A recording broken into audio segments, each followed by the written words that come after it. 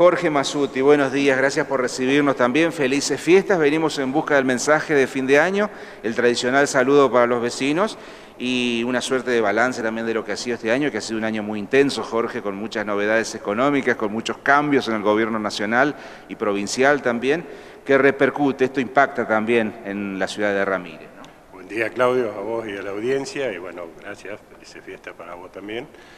Mira, ha sido un año, sí, de mucha actividad y de, digamos, mucha actividad en lo, gremial, en, lo que respecta a lo que nosotros hacemos en la actividad gremial empresaria, en cuanto a que la economía estuvo parada, o sea, tuvo muchos meses de caída en las ventas, inclusive ahora en esta Navidad las ventas cayeron, en locales físicos cayeron un 3,5%, o sea que si lo tomamos en general es un 3% con respecto a, la Navidad anterior, y crecieron 1,3% en la parte online, o sea que tenemos una cuestión allí muy atípica porque casi siempre venía siendo un crecimiento muy grande la, compra online, o sea que esto ha sido un año muy complicado. También manifestaron, esto es dato de la CAME, sobre 11.500 comercios de todo el país, lo que manifestaban es que, por ejemplo, se estiraron las ventas hasta que se concretaron casi hasta el cierre y que no tuvieron muchas, muchos comercios, el 50% hizo este, promociones, hizo descuentos y demás para tratar de vender, pero indudablemente eso no, no alcanzó porque bueno, hay una situación este, que Estancamiento de la economía. Sí, sí, de recesión más que nada. Jorge, ¿y cómo impactan en Ramírez y en el comercio, en las pymes, las nuevas medidas tomadas por el gobierno nacional? Sobre todo teniendo en cuenta que, bueno, ahora, por ejemplo, se anunció un bono también de 5 mil pesos para los privados, ¿no? ¿Las pymes lo van a poder pagar? Bueno, mira, eh, hay una... Por un lado, el gobierno quiere inyectar plata en el circuito comercial, como para reactivar el consumo.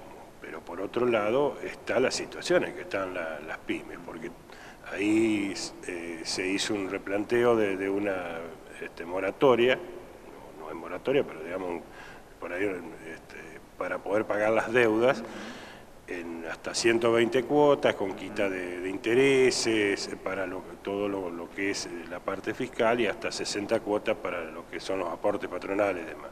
Entonces eso está hablando de que el gobierno sabe de que hay una situación de endeudamiento y de, en las, este, en las pymes. Y por otro lado, eh, arbitrariamente, arbitrariamente, porque digamos, creo que el gobierno tenía que consultarlas, eh, disponer de que el sector privado deba pagar un bono eh, por ahí no es lo mejor. Esto no quiere decir que no lo merezca el, empleado, digamos, porque obviamente los, desfasajes económicos, pero, pero no solamente han afectado a él, sino también han afectado a su fuente laboral, a, su, la parte patronal. Entonces, eh, eso también va a tener un, impacto a la hora de pagarlo, sobre todo en los más pequeños, que, que son los que siempre eh, son los mayores generadores de trabajo, pero también son los que más sufren las consecuencias de toda esta eh, situación que vivimos. Por ahí no lo decimos, pero este es el centro comercial, industrial, agropecuario y de servicios, y representan también al campo ustedes, ¿no? Y se ha anunciado una suba en el esquema de retenciones también, Jorge, que obviamente impacta también en los productores de la zona. Impacta en los productores de la zona, impacta en los comercios locales, impacta en la industria local, impacta en todo, porque nosotros tenemos que tener en cuenta que en nuestra ciudad, como de acá alrededor, tienen eh, una relación directa con lo que el campo produce. Si el campo le va bien, obviamente el comercio, la industria, los prestadores de servicios eh, también le va bien no es solamente una suba de, retenciones, o sea, se está hablando también de una, este, una suba en el impuesto inmobiliario, que también eso impacta en lo nacional, en lo provincial y en lo municipal, porque digamos, todas eh, es correlativo, o sea, sube a nivel nacional y va a subir todo lo demás. Para mí es una medida recesiva, yo creo que eh, subirle retenciones y demás al campo es una medida recesiva porque desalienta la producción, desalienta a, a sembrar, a hacer más cosas. Obviamente yo no soy la palabra autorizada. Qué paradoja porque es la ley de reactivación productiva la que se aprobó recientemente en el Congreso, ¿no? Sí, pero da la sensación que es una ley para hacer caja más que para reactivar la, producción. Se dijeron, bueno, consensuamos por 180 días que todos los sectores, todos, todos, y en esto incluimos los políticos y a todos, este, hacen el esfuerzo, se llama. Bueno, entonces en ese sentido uno podría pensar de que, eh, bueno, que, la, cosa va a ser en serio. Por ejemplo, si nosotros tomaríamos eh, el Congreso de la Nación, los este, consejos deliberantes, todos, que, todos hagan un gesto. Yo sé que por ahí alguno va a decir, sí, pero eso no va a mover el amperímetro, pero es un gesto. El gobierno podía haber mandado un proyecto de ley al Congreso donde reducir, por ejemplo, que el, Congreso de la Nación, en vez de tener a alguien 25 o 30 asesores, reduzca a 5. Bueno, por ahí se habla de, que algunos diputados han propuesto que el sueldo sea el de, un maestro, y algunos consejos deliberantes, como el de Gualeguaychú, aprobaron por iniciativa del Ejecutivo la rebaja de los sueldos. Entonces, También se eh, propuso ayer el congelamiento de dieta de los senadores nacionales, hay que ver si esto se aprueba. ¿no?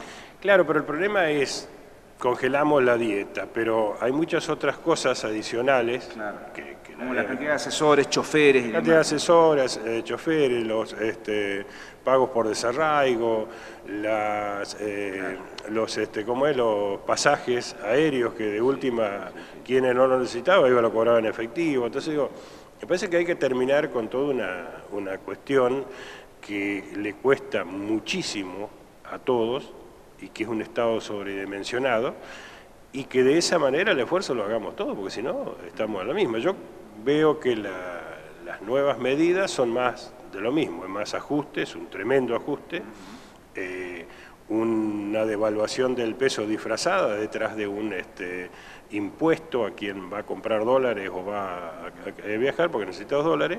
Y bueno, ayer vimos la, consecuencia de eso, el dólar blue 80 y pico de peso. Entonces, bueno, ahí está, ahí está lo que va a pasar, porque ¿qué pasa?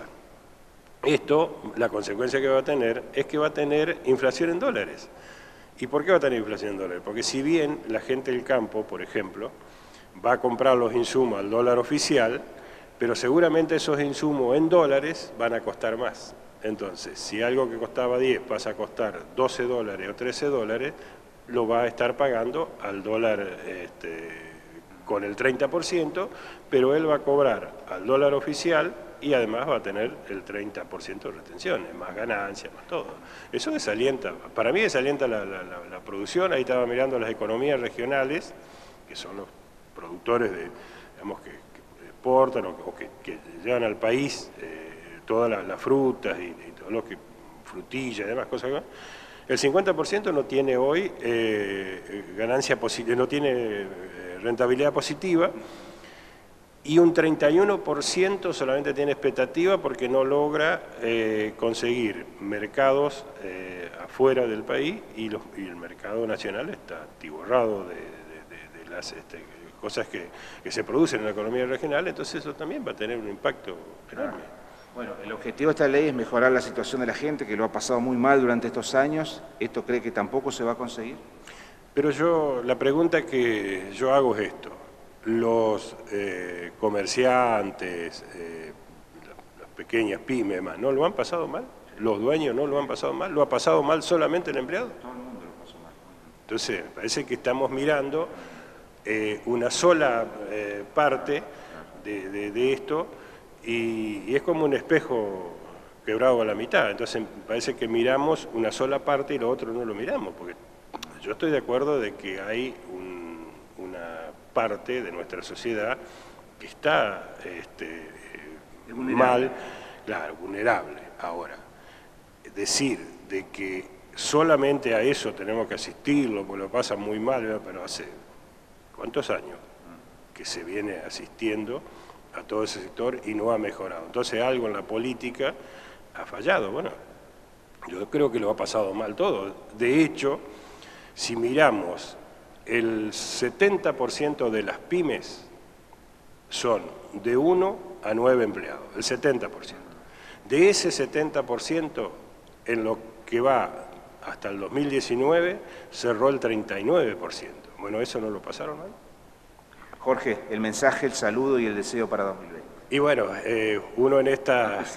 No, no, eh, uno en estas este, cuestiones, obviamente que tiene que contar y decir la realidad y lo que ve como este es el análisis objetivo de la realidad. Como dirigente, pero también tiene que llevar esperanza. O sea, yo creo que uno tiene que pensar de que el año que viene eh, las cosas pueden cambiar, depende de todos, quienes este, están al frente del Ejecutivo, depende de, de las este, entidades como las nuestras o, como CAME o demás que nos representan a nosotros, pero tiene que ser un mensaje esperanzador. Yo deseo de todo corazón que el año que viene sea mejor. Eh, no voy a decir aquella frase que sea próspero, pero que sí que sea mejor y que de a poco podamos ir saliendo de toda esta cuestión y que, bueno, terminemos este año lo mejor posible, en paz, en armonía, y que el año que viene nos encuentre más unidos y que tengamos la esperanza de que vamos a estar mejor. Ese sería el el mensaje para digamos, terminar un año que ha sido difícil y que avisora otro año difícil, pero con la esperanza de que podemos estar mejor. Siempre a disposición, Jorge. Muchas gracias. Gracias a ustedes.